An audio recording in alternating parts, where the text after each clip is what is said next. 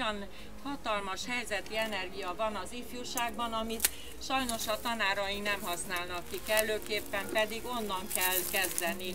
A negyedik osztályosok így viszik a szemetet átölelve, nem féltik a cipőjüket, ruhájukat, olyan büszkék, hogy, hogy ők csinálják, és mindig olyan helyeken gyúlnak ki a gyertyák november 1-én, ahova soha senki nem tett a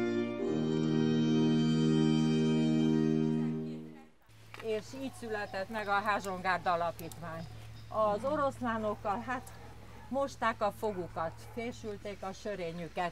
Akkor összeszedtem nekik egy kendefi grófnőt, annak írtak levelet, tisztelt Mária grófnéni, kedves Mária grófnőné, meg mindenféle, meg versikéket, az küldött nekik csokoládét, szóval itt egy, egy nagyon kez, szép történetnek a kezdete.